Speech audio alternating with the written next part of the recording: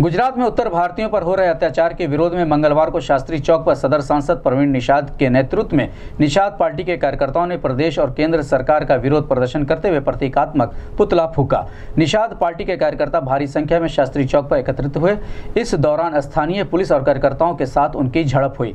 इस अवसर पर भारी संख्या में पार्टी के कार्यकर्ता मौजूद रहे। इस संबंध में गोरखपुर न्यूज़ संवाददाता से बात करते हुए सदर सांसद प्रवीण निषाद ने कहा।